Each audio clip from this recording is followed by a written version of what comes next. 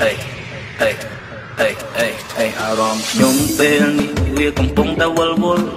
គិតទៅគិតយ៉ាងណាក៏នៅតែគិតមិនយល់កុំស្រ័យសុទេវតាក៏ព្រោះតែក្នុងចិត្តនៅតែឆ្ងល់ថាហេតុអ្វីជីវិតខ្ញុំពុះពេញទៅដោយទុកកង្វល់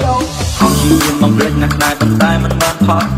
ក្បាលវិញខ្ញុំត្រឡប់ទៅលឹងជ្រពុកជ្របល់ជាជាបំភ្លេចមិនទៅមិនតិចមិនហ៊ានតាក់ប្រហោតែនៅបំភ្លេចមិនបាន ពេលឃើញអ្នកនោះសាតែបន្សល់បបសង្សារពិតចិត្តខ្មៅស្គាល់វាយូរដែរហើយប៉ុន្តែតែស្គាល់ពីក្រយៅអមត់បបសង្សារពិតចិត្តខ្មៅខ្ញុំទុកចិត្តហើយទៅវិញក៏ធ្វើឲ្យបែរទៅខ្ញុំមានដំណើរដំណើរដំណើរ